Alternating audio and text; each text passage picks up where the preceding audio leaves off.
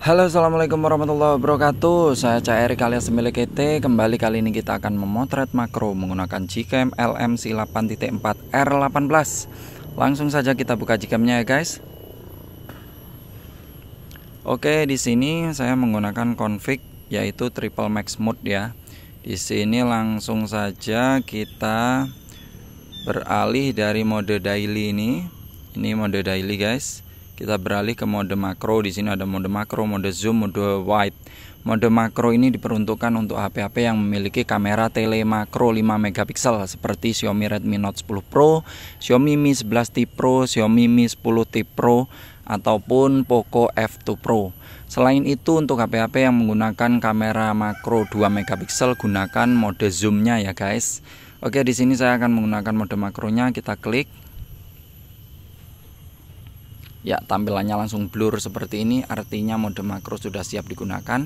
Di sini kita ada objek yaitu rubber fly. Kemudian di sini saya akan menggunakan uh, tanpa zoom terlebih dahulu. Ini uh, jarak fokusnya dari auto akan saya turunkan ke titik yang paling bawah yaitu ke titik jarak fokus terdekat.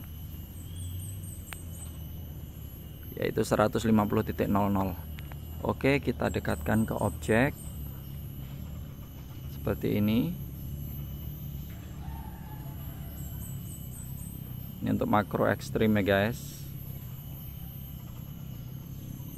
Kemudian kita cepret dan kita akan lihat hasilnya guys. Dan hasilnya adalah seperti ini. Huhu, mantap jiwa ya guys. Oke kali ini kita coba sekali lagi. Kita miringkan HP nya Oke, kita dekatkan ke objek. Kita tunggu sampai fokus. Jika dirasa fokusnya sudah pas, baru dicepret. Objeknya kabur, guys. Kita harus berpindah dulu. Oke, ini objeknya. Dia balik lagi.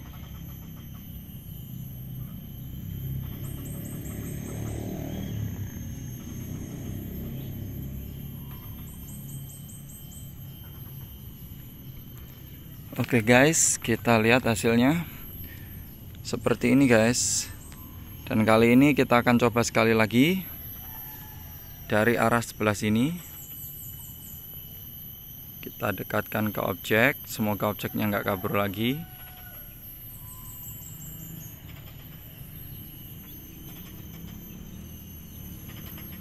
Oke, kita jepret lagi sekali lagi, mumpung objeknya belum kabur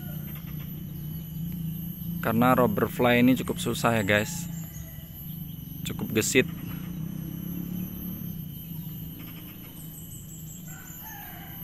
Mantap. Sekalian kali ini kita zoom dua kali. Seperti ini.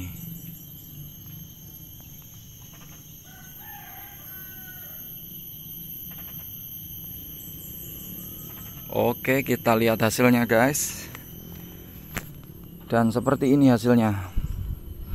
Mantap jiwa guys. Luar biasa. Oke cukup detail.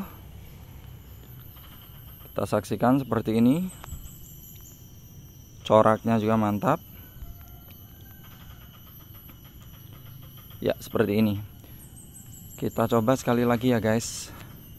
Kali ini dengan posisi tegak zoom tetap dua kali kita dekatkan ke objek.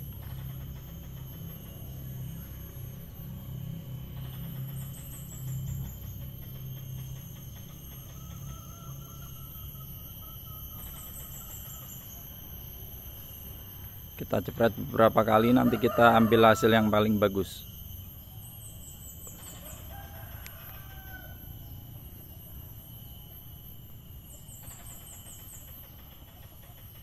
tangan saya bergetar-getar.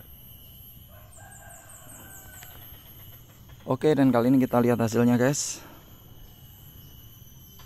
Hoho, mantap ya. Cukup bagus guys.